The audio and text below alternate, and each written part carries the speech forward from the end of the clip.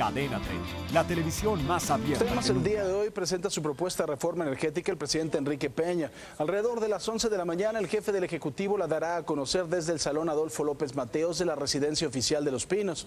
Por cierto, el presidente nacional del PRI, César Camacho Quiroz, adelantó que la propuesta contempla modificaciones en tres artículos constitucionales, entre ellos el 27, que dice que tratándose del petróleo y los hidrocarburos no se otorgarán concesiones ni contratos. Por su parte, el presidente Peña Nieto asegura que no busca la privatización de Pemex, sino hacer a la paraestatal más productiva.